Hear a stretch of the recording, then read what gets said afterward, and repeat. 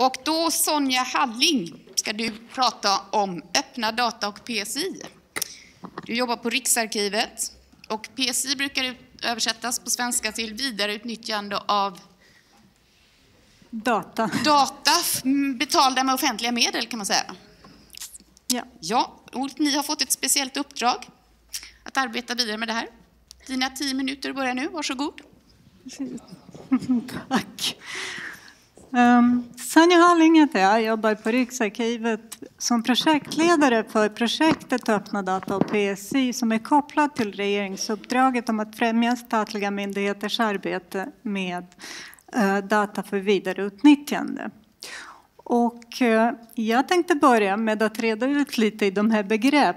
Vårt uppdrag kall, brukar kallas för uppdraget om öppna data men omfattar egentligen all data för vidareutnyttjande. Och då brukar man prata om öppna data och PSI-data.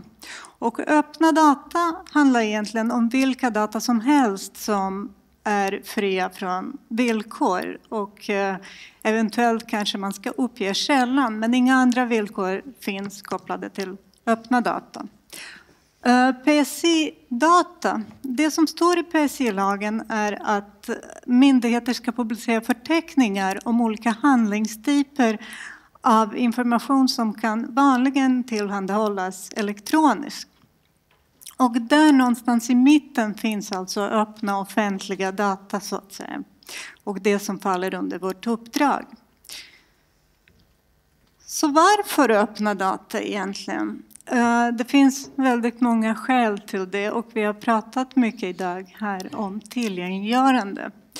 Och eh, skälen är ju många. Eh, dels handlar det om effektivitet. Det är ju nya sätt att eh, skapa effektiva eh, sätt att hantera digital information. Det handlar ju också om kostnadseffektivitet.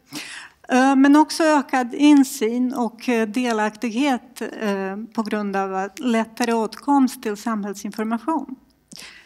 Det handlar också om kvalitet och vi har pratat om crowdsourcing här idag så det är ju ett sätt att få ökad kvalitet på de datamängder som man har vid myndigheter. Men det kan också handla om eh, eh olika sätt att till exempel genom kvalitet på öppna data också öka sin relevans i det digitala samhället. Eh, och det är naturligtvis kopplat till ekonomi och tillväxt. Och eh, ibland är det ganska tydligt på vilket sätt man kan skapa olika tjänster eh, genom öppna data. Och eh, det finns ju många utvecklare som kan använda de här datamängderna på olika sätt. Ibland är det bara en typ av datamängder från eh, Eh, en sektor men ibland kan det vara olika datamängder som man sammankopplar för att skapa också ny, ny kvalitet i datan. Ehm, på europeisk nivå har man tittat särskilt inom Europeana på hur kulturarvsdata skapar påverkan i samhället och på vilka sätt.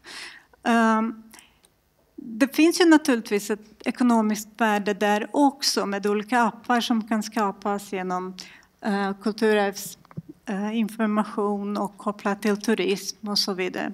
Men här har man tittat då specifikt på, ett fall, på en fallstudie om eh, digitala samlingar från första världskriget som har släppts då på nätet.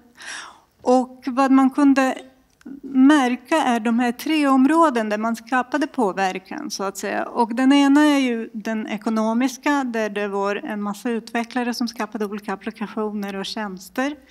Men den andra var ju djupare förståelse. Det, var ju, det handlade om människor som hade hittat sina släktingar, fått kontakt med dem, hittade familjehistorier som de inte kände till tidigare genom att få ta del av det här materialet.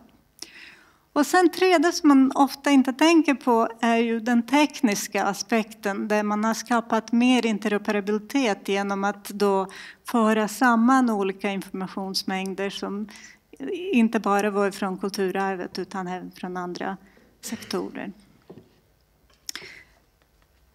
Uppdraget till Riksarkivet kom förra året i juni och eh, under hösten har man haft ett förberedande arbete och ett projekt då startade i januari. Uppdraget handlar om att främja statliga myndigheters arbete eh, med data för vidareutnyttjande, men det finns lite olika delar i det. Den, är, den ena är ju att samla och publicera information om myndigheternas PSI-förteckningar. Och sen tidigare har Riksarkivet också i uppdrag att ta fram PSI-föreskrifter om hur de här förteckningarna ska se ut. Så att vi började i projektet med, att, med en eh, förstudie för att se på vilket sätt förteckningar och föreskrifter hänger ihop och hur den här insamling och publicering ska ske.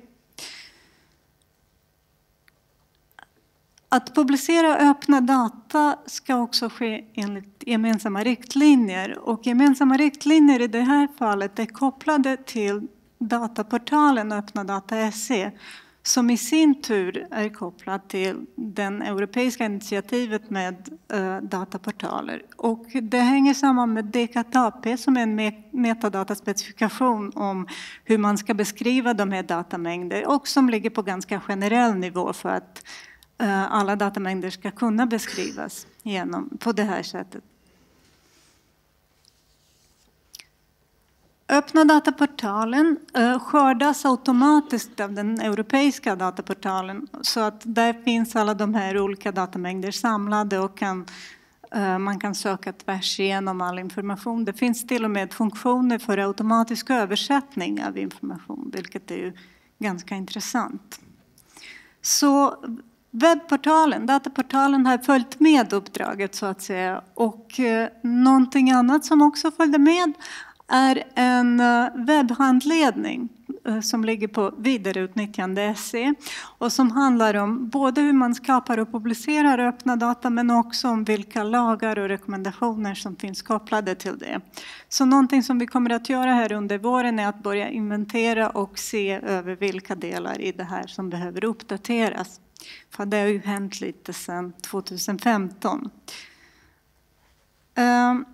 En annan del i uppdraget är också att ge stöd till enskilda att hitta var i statsförvaltningen data finns och eh, bistå i kontakterna med berörd myndighet. Så att eh, det handlar ju om eh, att skapa ingångar till datamängder och se vad som kan vidareutnyttjas och på vilket sätt.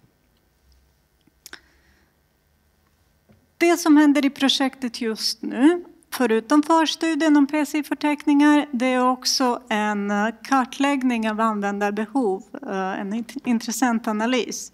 Vi tittar på vilka är användare av öppna data kopplade till dataportalen och vad vill de ha?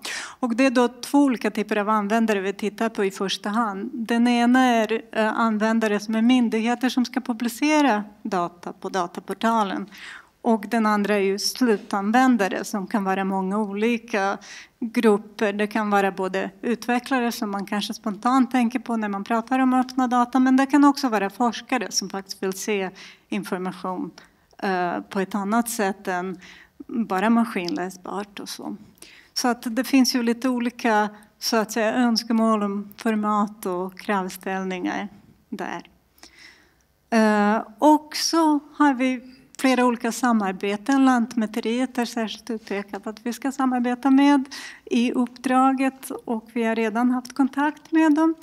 Eh, det finns också olika dataportaler som till exempel Geodataportalen som eh, vi också eh, kommer att samarbeta med för att se på vilket sätt de kan kopplas till öppna data SE. Men det finns andra typer av samarbeten också, till exempel Hack for Sweden och andra sammanhang där man kan se praktisk användning av informationen också. Så det var de bilder jag hade. Tack för mig. På vidareutnyttjande.se eh, finns det också lite blogginlägg om projektet så där kan ni hålla utkik efter ja, vad som händer vidare. Tack, Tack. Sonja.